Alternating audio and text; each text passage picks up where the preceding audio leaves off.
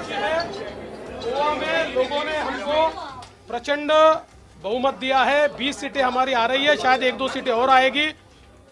मैं इतना ही कहना चाहता हूँ कि ये हमारे प्रधानमंत्री नरेंद्र मोदी जी पर लोगों ने विश्वास दिखाया है और भारतीय जनता पार्टी को ये जो जीत मिली है, मैं गोवा के जनता का बहुत बहुत आभार व्यक्त करना चाहता हूँ।